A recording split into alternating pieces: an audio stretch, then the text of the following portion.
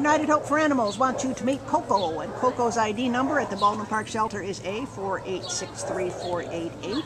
He is uh, an altered male tan and white German Shepherd Lab mix, about five years old, and came in as an owner surrender on May 4th because uh, they were they had to move and couldn't take him.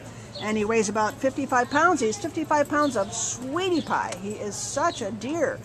And uh, he's a good example. I've been talking all day about dogs they've brought in here. They're overwhelmed, they're scared, which uh, apparently Laura says he was in the beginning when he first got here on the 4th, but he's acclimating. He's just a, got a wonderful personality. He's very mellow, uh, just a charming dog. And uh, he seems to want to not only get along with, he wants to be around kids. So if you're looking for a family dog, bring the kids down and uh, spend some time in, in the play yard with him. Um, I'll bet you'll fall in love. Laura, what else can you tell us about him? Uh, I think he's got some training under his belt. He Yeah. knows sit. Ah. Um, I he seems to know what a leash is. He doesn't pull on it particularly. I think he would. Uh, he's probably he probably actually knows how to heel. He just needs to know that I know that he knows. Right.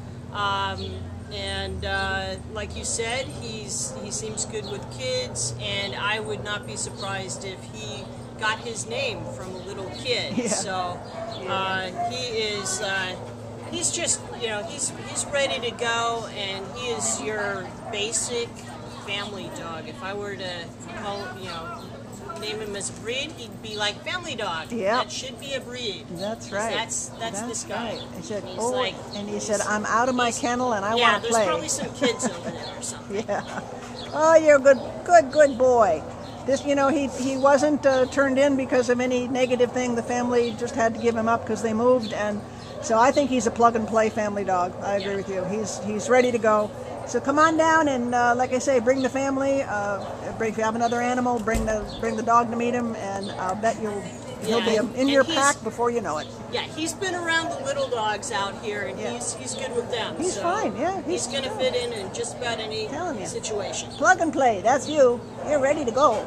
Please come and meet Coco at the Baldwin Park Shelter and take him home. Bye, baby.